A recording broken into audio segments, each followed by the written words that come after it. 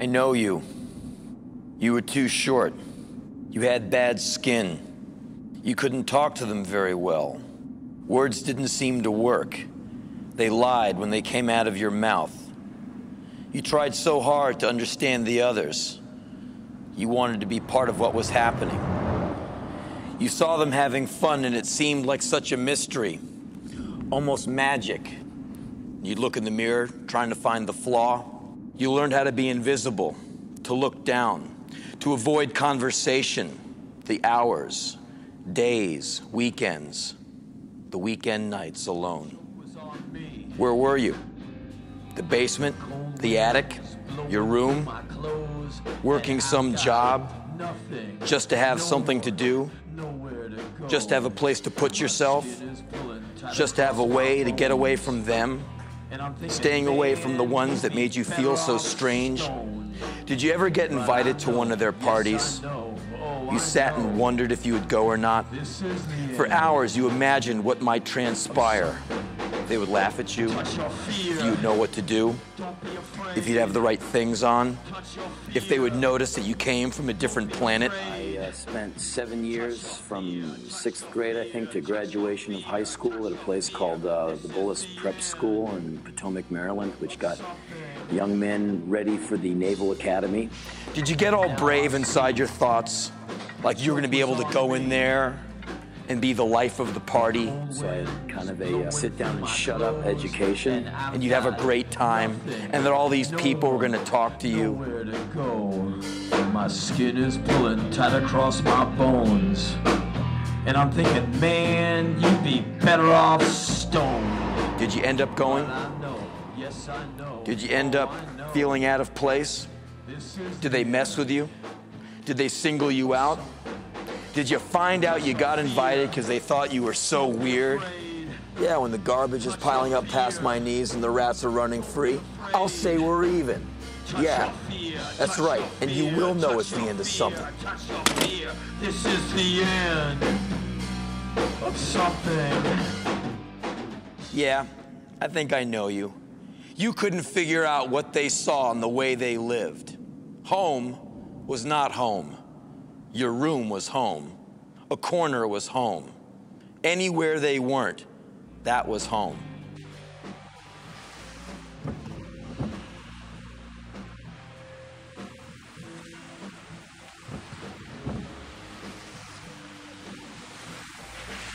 You're sensitive and you hide it because you fear getting stepped on one more time. When I am alone, I always feel like I am in a perfect state because they mistake kindness for weakness. I think all numbers are cluttered. Like seven is one with six other ones getting in its way. But you know the difference because you've been the brunt of their weakness for years. A 100 is great if the other 99 would get lost. And strength is something you know a bit about. And always be able to go along, go alone, and go without.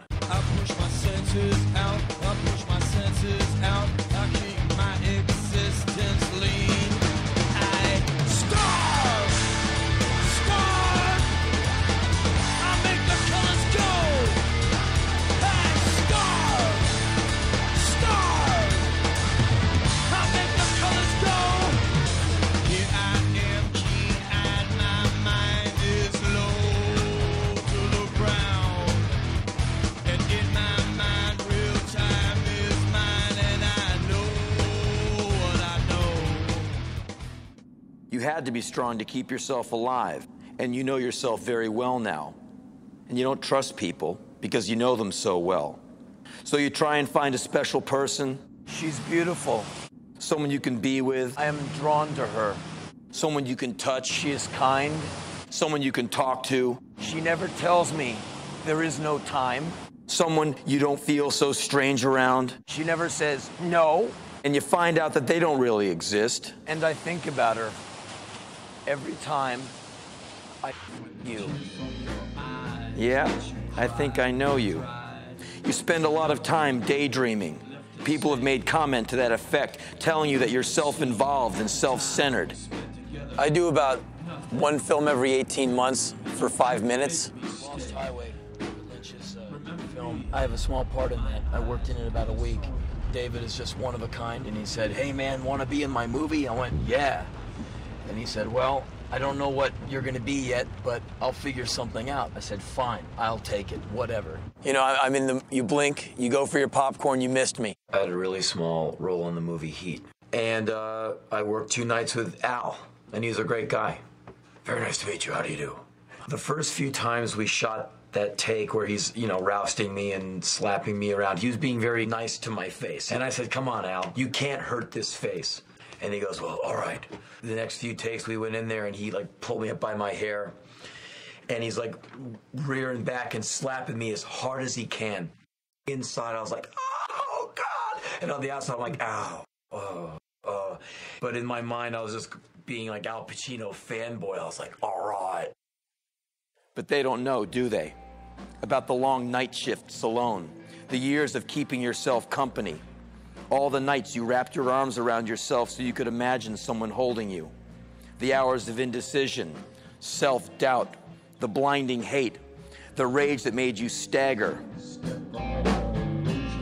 And it astounds you to see how they can be so smooth as they seem to pass through life as if life itself was some kind of divine gift.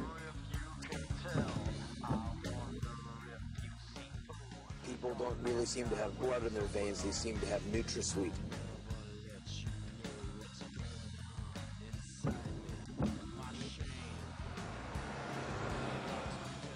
It was interesting to play in Moscow uh, the thing that was interesting, besides the audience being very energetic, was the intense level of poverty around Red Square.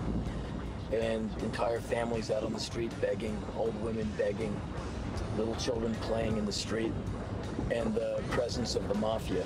Sometimes when we play a place for the first time, like in Japan, the first time we played there, people were very reserved and would not come near the stage, either out of respect or out of fear or out of uncertainty but then I started talking to them and making jokes and smiling, which I don't do a lot of on stage. You smile at me, I smile back. You ask me how I am, I tell you. And it infuriates you to watch yourself with your apparent skill in finding every possible way to screw it up.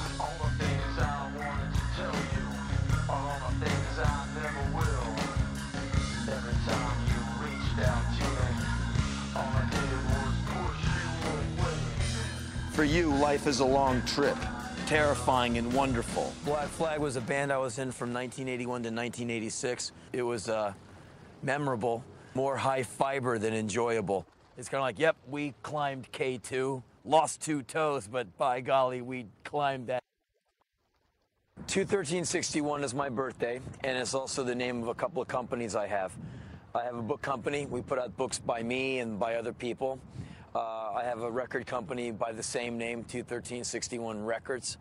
And we put out a lot of uh, avant jazz stuff, spoken word stuff, uh, audio books, things like that. I don't think there's any geniuses in rock music. I think that, that where you're going to find genius attached to a musician is in jazz. Like I like Parker, Coltrane, Duke Ellington, people like that. That's genius at work. I mean, once you get into jazz, then all of a sudden you realize that all that rock music you were listening to you realize how white guys get down, they turn up the volume. That's all they can do. They just make it louder, they pucker their lips more, and they have some hu- huge inflatable phallic item they drag around stage. And I might be 50 years old out there jumping up and down like, I'm a liar.